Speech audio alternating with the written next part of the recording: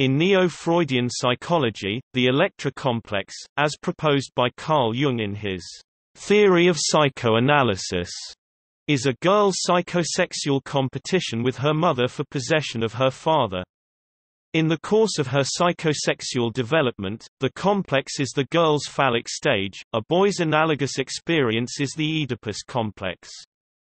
The Electra complex occurs in the third phallic stage ages 3 to 6 of five psychosexual development stages, I the oral, E the anal, E the phallic, IV the latent, and V the genital, in which the source of libido pleasure is in a different erogenous zone of the infant's body. In classical psychoanalytic theory, the child's identification with the same-sex parent is the successful resolution of the Electra complex and of the Oedipus complex, his and her key psychological experience to developing a mature sexual role and identity.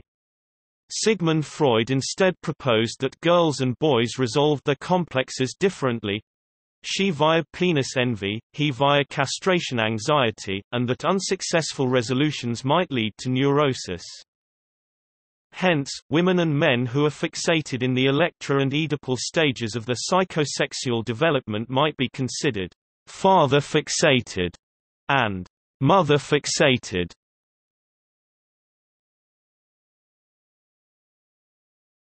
Topic: Background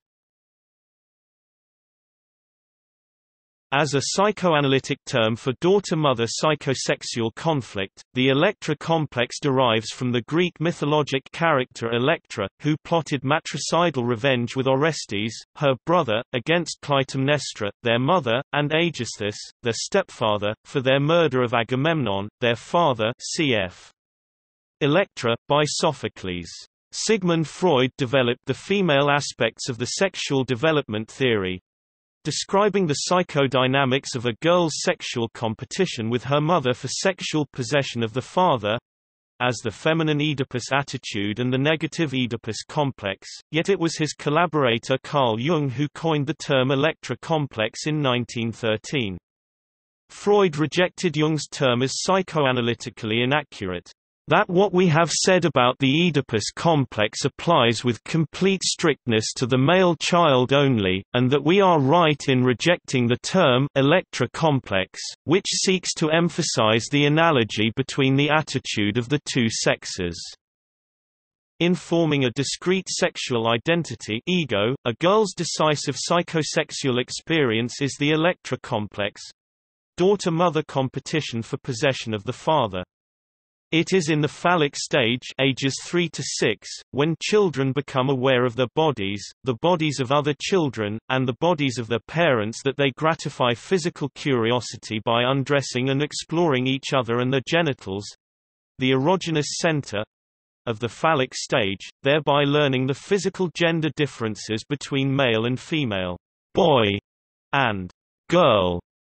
When a girl's initial sexual attachment to her mother ends upon discovering that she has no penis, she then transfers her libidinal desire sexual attachment to her father and increases sexual competition with her mother.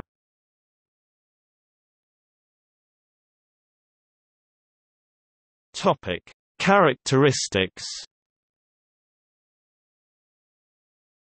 The psychodynamic nature of the daughter-mother relationship in the Electra complex derives from penis envy, caused by the mother, who also caused the girl's castration. However, upon realigning her sexual attraction to her father heterosexuality, the girl represses the hostile female competition, for fear of losing the love of her mother. This internalization of mother develops the superego as the girl establishes a discrete sexual identity ego. Without a penis, the girl cannot sexually possess her mother, as the infantile id demands. Consequently, the girl redirects her desire for sexual union upon her father, and thus progresses to heterosexual femininity, which culminates in bearing a child who replaces the absent penis. Moreover, after the phallic stage, the girl's psychosexual development includes transferring her primary erogenous zone from the infantile clitoris to the adult vagina. Freud thus considered the feminine Oedipus attitude, Electra complex, to be more emotionally intense than the Oedipal conflict of a boy, resulting, potentially, in a woman with a submissive, less confident personality. In both sexes, defense mechanisms provide transitory resolutions of the conflicts between the drives of the id and the drives of the ego. The first defense mechanism is repression, the blocking of memories, emotional impulses, and ideas from the conscious mind, yet it does not resolve the id-ego conflict. The second defense mechanism is identification, by which the child incorporates, to his or her ego, the personality characteristics of the same-sex parent. In so adapting, the girl facilitates identifying with mother, because she understands that, in being females, neither of them possesses a penis, thus are not antagonists. If sexual competition for the opposite-sex parent is unresolved, a phallic stage fixation might arise, leading a girl to become a woman who continually strives to dominate men viz., penis envy, either as an unusually seductive woman high self-esteem or as an unusually submissive woman low self-esteem. In a boy, a phallic stage fixation might lead him to become a vain, over-ambitious man. Therefore, the satisfactory parental handling and resolution of the Electra complex are most important in developing the infantile superego, because, by identifying with a parent, the girl internalizes morality, thereby, she chooses to comply with societal rules, rather than being reflexively compelled to comply, for fear of punishment.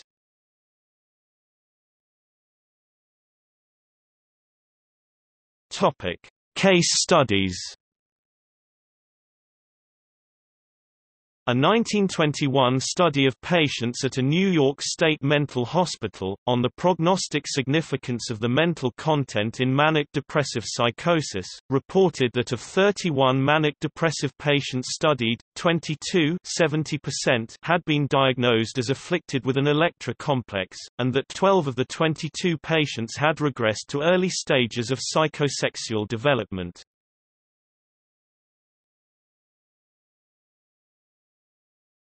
Topic: Electra in fiction.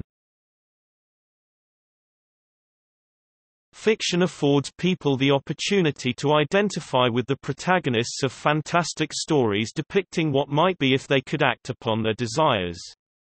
Often, in aid to promoting social conformity, the myth, story, stage play, or film presents a story meant to frighten people from acting upon their desires. In the course of infantile socialization, fairy tales fulfill said function, boys and girls identify with the hero and heroine in the course of their adventures. Often, the travails of hero and heroine are caused by an evil stepmother who is envious of him, her, or both, and will obstruct the fulfilling of desire. Girls, especially in the 3 to 6 year age range, can especially identify with a heroine for whom the love of a Prince Charming will sate her penis envy. Moreover, stories such as Cinderella have two maternal figures, the stepmother society and the fairy godmother. Stepmother represents the girl's feelings towards mother, the fairy godmother teaches the girl that her step-mother loves her, thus, to have mother's love, the girl must emulate the good Cinderella, not the wicked stepsisters.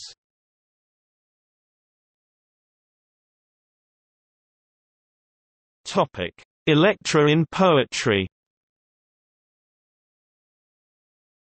The American poet Sylvia Plath (1932–1963) acknowledged that the poem Daddy (1962) is about a woman afflicted with an unresolved Electra complex, who conflates her dead father and derelict husband in dealing with having been emotionally abandoned. Her biographers noted a psychologic irony about the life of the poet Plath. She knew her father for only eight years. Before he died, she knew her husband for eight years, before she killed herself. Her husband was her substitute father, psychosexually apparent when she addresses him the husband as the vampire father, haunting her since his death. In conflating father and husband as one man, Sylvia Plath indicates their emotional equality in her life, the unresolved Electra complex.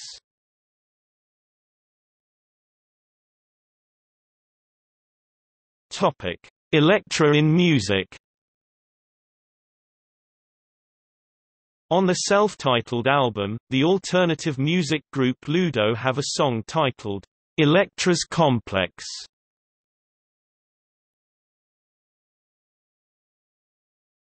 Topic. See also